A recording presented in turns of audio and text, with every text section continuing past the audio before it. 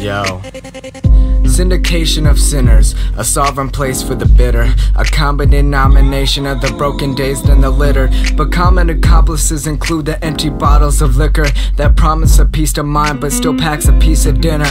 A lavish feast for the damaged, the battered, beaten, and the famished, who are depending on a helping hand but instead are left empty handed. And Brandon is nothing more than a man who's too drunk to manage land with an upper hand that could alter the land that he's standing on. But he vanished, and no soul could detect that he was missing and gone for about six years. And he fought the wars to protect the life that you were living. And now, the only one who listens is the bottle that he's gripping. An outcast to the same home that he's believed in protecting. And he's collecting sins, and he's feeling like there's nothing left from within. Uh.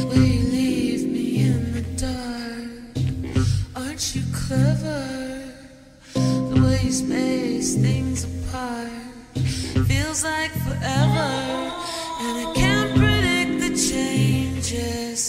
Everything's so strange, but never mind. I never care. It always makes my day.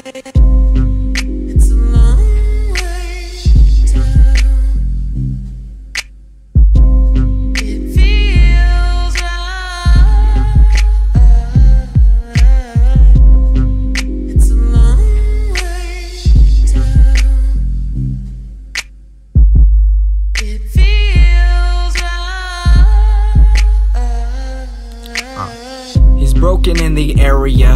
He's trying to get rid of the hysteria.